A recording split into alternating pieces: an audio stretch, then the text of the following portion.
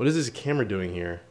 Yo, Austin, when are you gonna shoot this review? You've literally had this phone for like three months. Don't you think it's about time to shoot the review? Austin, hello? Austin? Austin? Austin? Austin?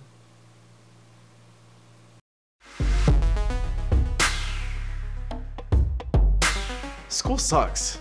What's up guys, Austin here, and today I have the OnePlus One. The two? No. I've had this phone for a while and I've been meaning to make a review of it for the longest time, but here it is. This is the best value phone on the market, hands down. Had this review come out a couple weeks ago, I probably would have said it was the best Android phone you could buy, but it's still pretty good. So what's the deal with this phone? What makes it so special? Well, for one, it's a nicely spec phone for the price, which we'll get into later, but it's also just built up a ton of hype. Still, one of the worst things about this phone is that it's hard to buy. OnePlus is a private smartphone manufacturer in China that barely pays anything in advertising, which allows them to have an extremely low price for a flagship phone. But because of scaling issues, OnePlus set up a very annoying invite system that requires you to have an invitation just to throw your money at them. They're moving towards a pre-order system, but because the demand of the phone is still so high, it hasn't really worked out nearly as smoothly as they wanted it to. With all that said, while it is a great phone, it's still tough to get your hands on one. So now with all those politics out of the way, we can go ahead and get into the phone. You can get a 16 gigabyte silk white version for 299, but you're want to go for the 64 gigabyte sandstone black version, which is just $50 more. I've talked about the textured back in a previous video. It feels interesting, a little rough, but I've found that with time, it starts to feel better and overall a lot softer, uh, but you still get a good grip, which is important since it's such a large device. The OnePlus One has a 5.5 inch 1080p panel with very large bezels on both the top and bottom of the phone, which make the device kind of huge, I'm not gonna lie. Anyways, the display. It's good. It's not quad HD or anything, but it still looks great even on a 5.5 inch screen size. There's one thing I've got to throw out here though. They bragged a lot about the IPS screen being able to respond to even the slightest of touches because of the thin gap between the touch sensor and the display panel. Well, it's awful. Honestly, it's probably the worst thing about the phone in my opinion. So for starters, this is the worst typing experience I've had ever on a phone. Luckily, it's been mostly fixed through a software update, but I couldn't stand typing on it. The screen was just way too sensitive and it either just didn't pick up everything I was typing or it would add a few extra characters in there that I barely touched, which didn't really help when I wanted to type fast.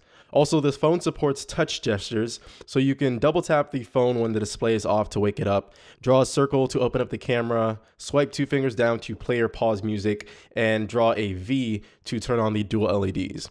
And for the most part, they all worked pretty well, except for the fact that they also worked when they were in my pocket. I had to disable most of the gestures because I ran into too many cases where the display would just activate in my pocket or the camera would turn on or the light would start shining just because the display was so sensitive. They're all great features, but they just didn't work as well as they should have. Just about everything else about the phone is great though. The internals are all top of the line. It has a quad core Snapdragon 801 processor and 3 gigs of RAM which make it fly.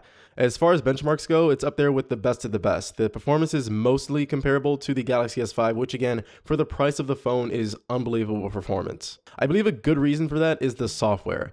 It's running CyanogenMod, which is based on Android 4.4.4, and it's about as clean as the devices you can buy. It comes with absolutely no bloatware, no unnecessary apps, and it's really a nice and clean Android experience. For those of you who love to customize though, this is CyanogenMod and the possibilities are basically endless.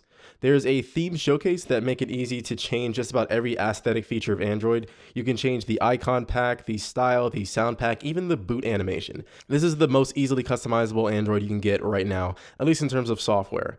You can even change some of the hardware features too. For example, if you prefer on-screen buttons, you can use those, or you can use the built-in capacitive buttons if you want more screen real estate, although they are extremely dim for some reason.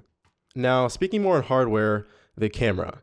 Now, this is a 13 megapixel shooter with an f2.0 aperture, and it's a good camera. The quality is not the best I've ever seen on a camera, but it's still good enough for day-to-day -day use. My only big complaint is that the camera is a little slow.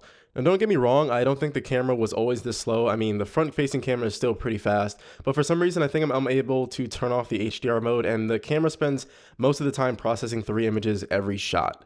It might just be my specific phone, but aside from that, the camera has some pretty good features. There's an option to capture in a raw image data format, and as far as video recording, you can record in slow motion as well as in 4K. It's important to note that there are actually two 4K options. There's your standard UHD, which is 3840 by 2160, which technically isn't 4K. And then there's DCI 4K, which is true 4K, and that comes in at 4096 by 2160.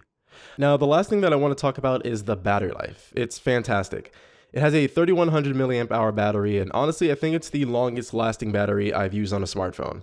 I've never ran into an instance where I felt compromised by the battery life. Even on days when I forgot to charge it overnight, I was still able to get through most of the second day and easily get a day and a half out of usage out of this battery.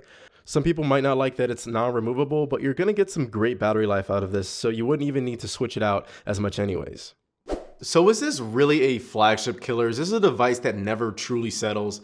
Well, some might argue that it does settle for no expandable storage, no removable battery, and no wireless charging, but for a $350 price point, it's really hard to complain about anything. This is the best phone you could buy at this price point, period. So with all that said, that is my review of the OnePlus One. Definitely one of my favorite phones of the year and the best value phone on the market right now. That is if you're able to buy one yourself.